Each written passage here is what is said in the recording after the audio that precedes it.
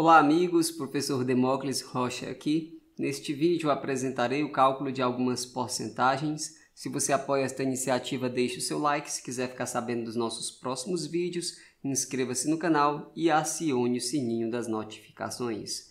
Vamos lá, vamos começar calculando aqui 18% de 19.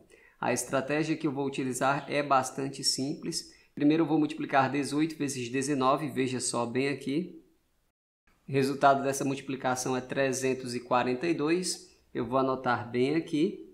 Porém, ainda não acabou, muito cuidado. Você vai imaginar que a vírgula está aqui ao final do número e você vai deslocar duas casas para a esquerda. Sendo assim, 18% de 19 é igual a 3,42. Muito bem, vamos continuar com a brincadeira, calculando agora 17% de 45. A estratégia que eu vou utilizar é a mesma nesse vídeo todo, então vamos lá. A gente vai começar multiplicando 17 vezes 45, vou fazer essa continha bem aqui. Feita a multiplicação, encontrei aqui 765, vou anotar bem aqui, mas eu vou ter o cuidado de imaginar que a vírgula está aqui ao final e vou deslocar duas casas para a esquerda, obtendo 7,65. Então, 17% de 45 é 7,65 e a gente vai partir agora para o próximo cálculo de porcentagem. Vamos calcular 26% de 58 e para fazer esse cálculo de forma muito rápida, vamos multiplicar 26 vezes 58, pegar o resultado, deslocar a vírgula duas casas para a esquerda e encontrar o resultado final aqui da porcentagem. Então, vamos em frente. Agora eu vou multiplicar 26 vezes 58. Feita a multiplicação, encontrei como resultado 1508. Então, eu vou escrever bem aqui 1508.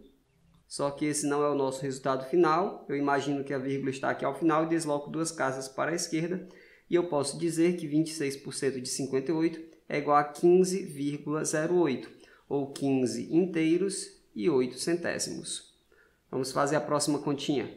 65% de 102. Eu vou começar multiplicando 65 vezes 102, vou fazer essa continha bem aqui. Terminei de fazer a continha, encontrei 6.630, é isso que eu vou anotar bem aqui.